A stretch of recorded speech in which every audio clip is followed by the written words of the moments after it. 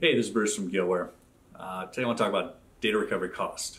Uh, it's usually one of the first questions we get when customers call in. Uh, we try to get their basic information about what the drive device is, what happened. A lot of times I'll ask, how much is this going to cost?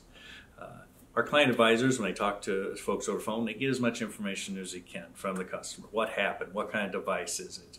And based on that information, we'll give a price range. And we try to make that range as small as possible, but at the same time, until we get that drive in and looking at it, we don't know exactly what's wrong. Uh, we like to use the analogy of a car mechanic. When you call a mechanic, and if I said, "Hey, my my car's making a noise," okay, what kind of noise? Where do you hear the noise? Did you do anything? Did you run over something and then it started making the noise? There's questions they're going to ask, but ultimately they're going to want to see that car in their garage. They're going to want to inspect it, and the same thing for us you can tell us your drive is clicking. Okay, we have a pretty good guess of probably what's what's causing that. But there are some other things that can cause, you know, one symptom that relates to something different than what you think it is. So we want that drive or device in our lab. We want to do that free evaluation. We'll provide you with a prepaid UPS label that you can use to send that device into us. Once we get it, we'll get it checked into our system. We're going to do a free evaluation. Our engineers are going to take a look at the device, determine A, can we get data can we not?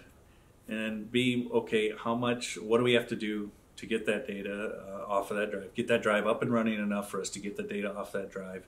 Uh, you know, parts, labor, a little bit on top to keep the lights running. And then we're going to uh, give you a, a firm price. Uh, and then at that point, you decide if you want us to continue with the, the recovery process or not. What determines cost? A lot of different things. What type of device it is, what happened to it. Um, you know, it's just a, a, lot of different variations. Um, solid state drives can cost a little bit more because it's a newer technology. Um, USB flash drives can be uh, can have a low end and or then it's a high end. There's really nothing in between.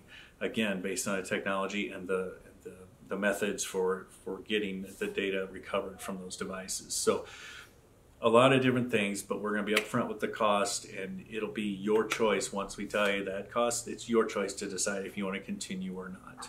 And uh, but if you have any other questions, feel free to call our 800 number. Um, talk to our client advisors. You know, they can explain it a little bit more, and um, or reach out to us in uh, email or or chat.